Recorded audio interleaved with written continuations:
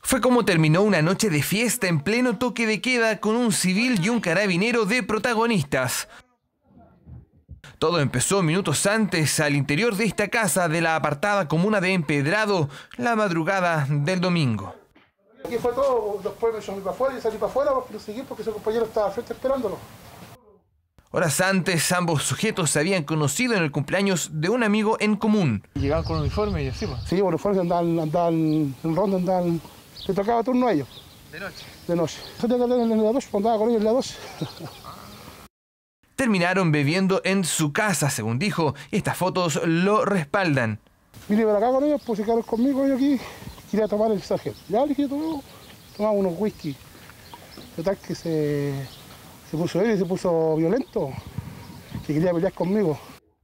Luego de las copas, la confianza fue tal que incluso conversaron sobre el arma de servicio y el uniformado, con cerca de 15 años de servicio, no tuvo mayor problema en pasársela e incluso grabarlo.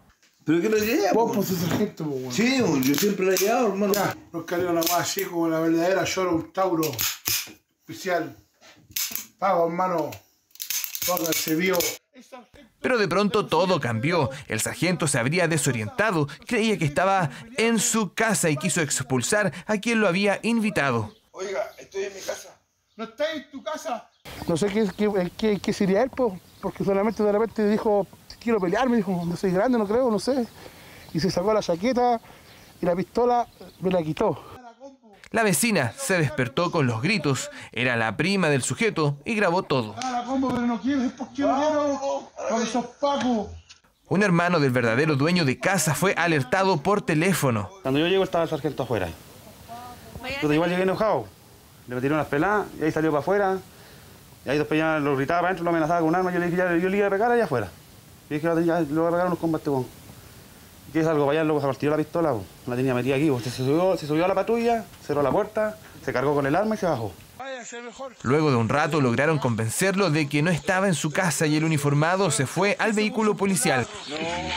Pero váyase, váyase, mejor.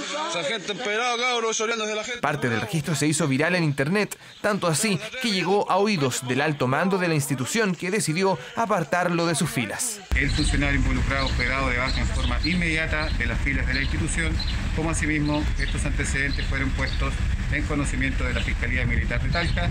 Además, se dispuso la instrucción de un sumario administrativo Investigación interna que podría arrojar sanciones para el segundo carabinero de menor rango, quien condujo el vehículo esa noche. ¿Y el otro carabinero que estaba manejando? El otro carabinero le rogaba, le decía, sargento, vámonos, vámonos, vámonos, le decía. Le rogaba delante de la patrulla y no se iba. Sargento, váyase mejor. Abuso de poder. El sumario de la institución dirá si tiene responsabilidad o si solo siguió órdenes. Lo concreto es que ahora el pequeño pueblo de Empedrado ya no tiene 10 carabineros, sino 9.